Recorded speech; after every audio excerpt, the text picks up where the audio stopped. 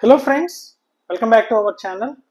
In today's session, we'll see one more concept in discrete mathematics that is types of relations. So in our previous session, we have discussed about what is a relation and how can we define a relation, right? So a relation can be defined between a same set or a different sets. So that we have seen in our uh, previous session. Now we'll see what are the different types of relations. So let's start the session.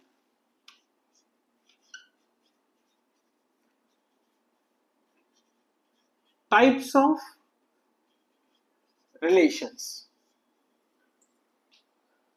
So the first one is an empty relation. So first of all, let us recall what is a relation. Relation means a relationship between the elements of the same set or a different sets. So the first category is empty relation. Empty relation. So when we call it as an empty relation, so if there is no mapping between the elements of a set, so there should be some sort of relationship or some sort of mapping between the elements of different set or same set. So mapping, there is no mapping between the elements of a set that may be either same or different set is known as empty relation. Empty relation. So usually that will be represented as represented as null. Okay, null. Null means zero elements. And the second one, universal relation. Universal relation. So this universal relation means we said that the every, any kind of relation will be a subset of the Cartesian product of sets, right? So that particular Cartesian product of a set is called as a universal relation. So Cartesian product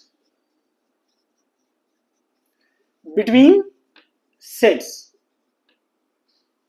is universal relation. So any relation, if you consider any relation, that will be the subset of this universal relation. That means every element of a set is mapped with every element of other set. So every element of set is mapped. You can say either mapped or relation, right? Is mapped with every element of another set. Another set. For example s1 is so 1 comma 2 and s2 is 3 comma 4 then universal set r is equal to the cartesian product. You know that the re- relation will be represented as a pair of elements. One first element will belongs to one set and one more another element belongs to another set right? So here you can see every element of one set is mapped with every other element of another set. So 1 comma 3, 1 comma 4. So every element of set 1 is mapped with every element of set 2. So 1 comma 3, 1 comma 4. Similarly, 2 comma 3, 2 comma 4. So this is the universal relation. This is a universal relation. Right? So simply we can say it is a Cartesian product it is a Cartesian product, right? So even though if we are having only one set, we are having only one set, then Cartesian product relation will be S into S. Okay, every element of S is mapped with every element of another S. So these are the two types: empty relation with no mapping, and one more universal relation, right? Cartesian product. Then the next one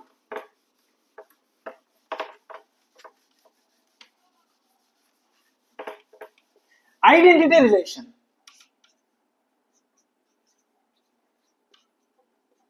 Identity relation. So what is this identity relation? So every element of set is mapped with only that element itself. is called as a identity relation. So every element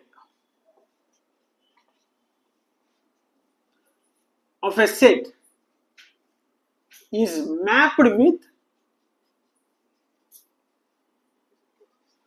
only itself. Only itself right? Is called as an identity right? For example let us take if the relation is in this way so 1 comma 1 2 comma 2 or 3 comma 3 so you can observe if you observe this one 1 is mapped with 1 2 is mapped with 2 3 is mapped with 3 that means one element is mapped with itself only. Okay one element is mapped with itself only. Then then we can say it as identity relation. See this is most important. Mapped with only itself only itself. So there is a next category which is similar to identity. It's a reflexive reflexive relation so here any element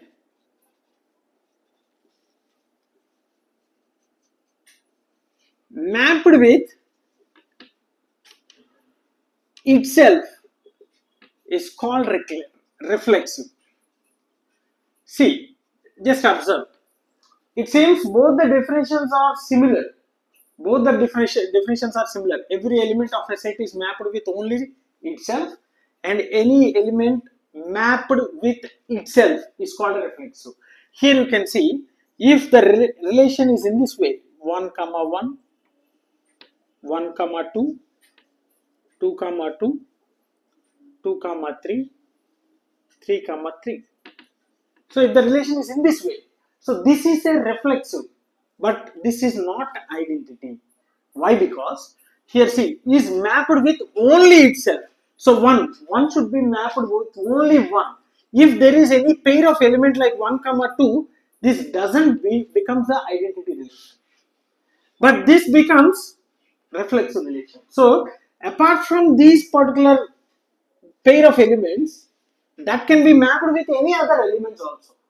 So any element mapped with itself is called as a reflexive. So 1 comma 1, 2 comma 2, 3 comma 3. So 1 is there, which is mapped with 1. 2 is there, which is mapped with 2. 3 is there, which is mapped with 3. Apart from that, 1 is mapped with 2 and 2 is also mapped with 3.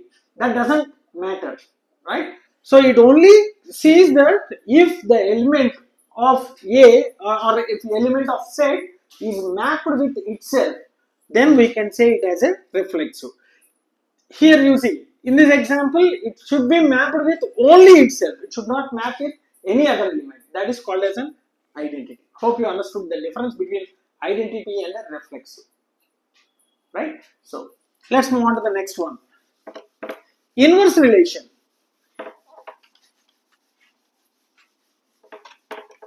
Inverse relation.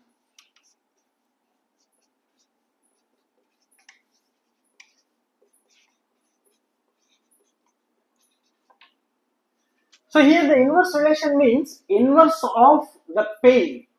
Okay, we are having a pair in the relation. If there is an inverse, then we can say it as an inverse relation. See, so if A comma B belongs to R, that means A comma B is a pair of elements belongs to a relation R and the inverse of a comma b that means b comma a also belongs to r. Then it is inverse relation.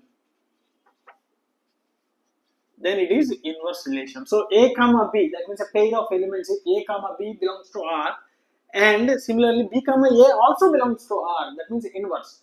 Then we can say it as an inverse. For example if a relation is having in this way 1 comma 2 2 comma 1 3 comma 1 1 comma 3 you can see this is an inverse relation. So 1 comma 2 what is the inverse of 1 comma 2 2 comma 1 2 2 comma 1 is also available. 3 comma 1 so what is the inverse of 3 comma 1 1 comma 3 this is also available. So we can say it as an inverse relation. So whenever a comma b belongs to r then immediately b comma a should also belongs to r right and similarly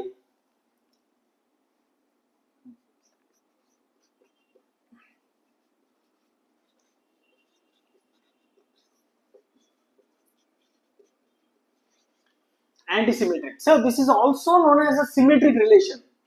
Symmetric relation. Symmetrical relation is also similar. Symmetric relation. Symmetric relation means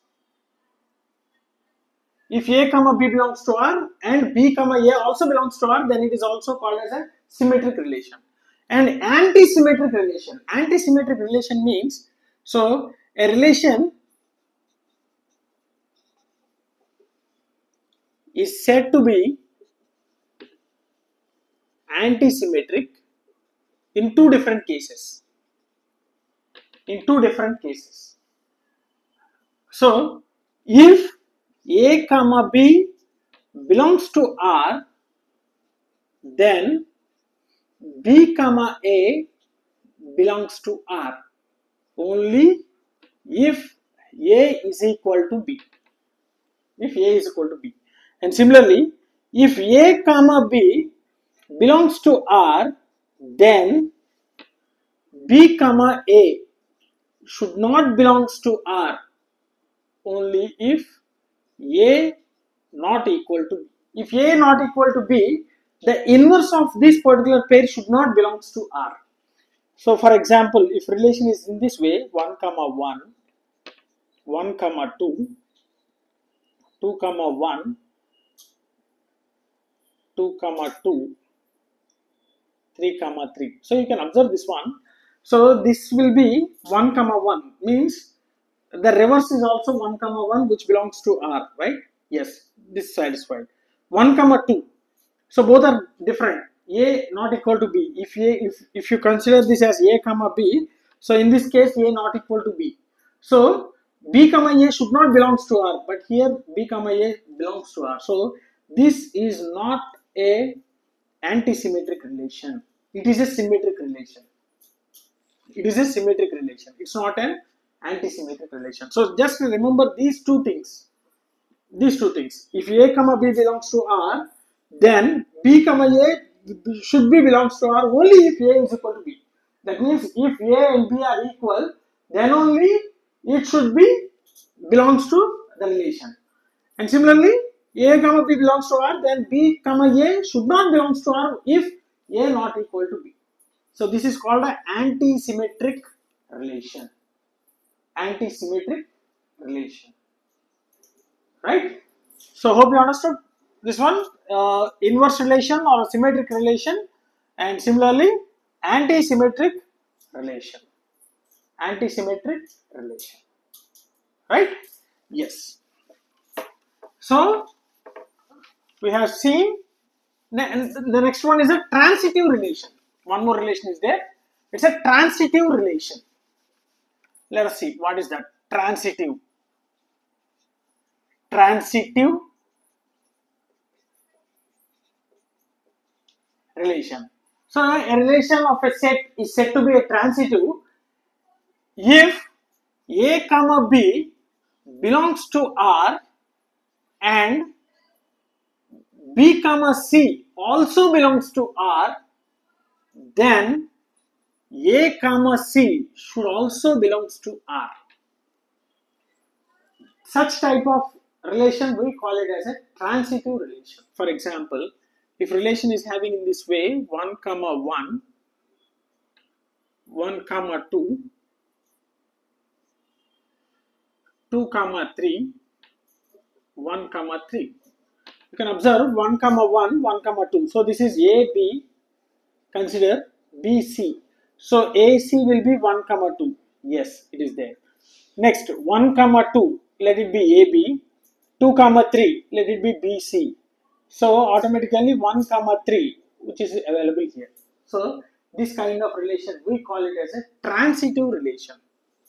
Transitive relation, right? So these are all the different types of relations. Different types of relations. So we have seen the empty relation, inverse relation, universal relation, reflexive relation, identity relation, symmetric relation, asymmetric relation, and finally the transitive relation. Right? So hope you understood these types of relations and two more types of relations are there. One is an equivalence relation and a partial ordering relation. So we will see those two things in our next session. So let's stop here. Hope you understood these uh, types of relations and if you are having any doubts regarding this one, feel free to post your doubts in the comment section. Definitely I will try to clarify all your doubts. If you really enjoyed my session, like my session, share my session with your friends and don't forget to subscribe to our channel. Thanks for watching. Thank you very much.